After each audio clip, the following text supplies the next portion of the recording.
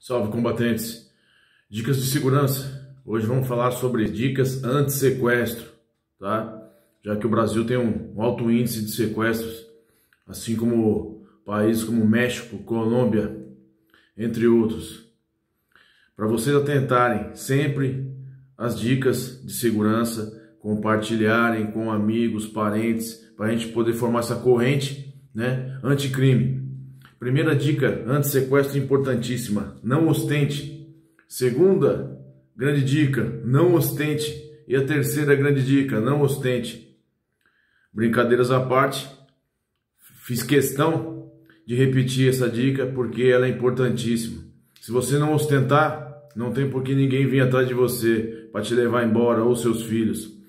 Outras dicas importantíssimas: não se exponham, não exponha seus familiares principalmente em rede social. Não faça check-in de onde você está. Não tire fotos né, de colégio de filho, de filha, de sobrinho, sobrinha.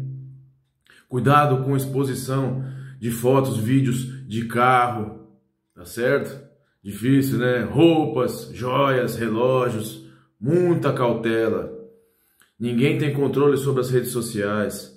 Então, tome muito, mas muito cuidado com isso. Fale o menos possível da sua vida, principalmente para pessoas que você mal conhece, principalmente sobre bens, salários, patrimônio, tá? Sobre suas rotinas. Muito cuidado.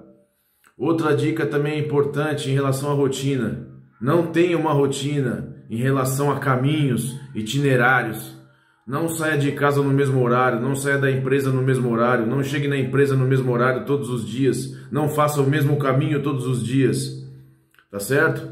Outra dica importante, quando for escolher um itinerário, um caminho, dê preferência a caminhos que passam por bases da Polícia Militar, Guarda Civil, delegacias. Tá bom? Então, estamos aqui, estamos junto. Sempre para tirar as dúvidas, pode me mandar no privado. Tamo junto, vamos formar essa corrente aí. Não esqueça de compartilhar com quem você ama. Dicas podem salvar vidas. Tamo junto. Caveira.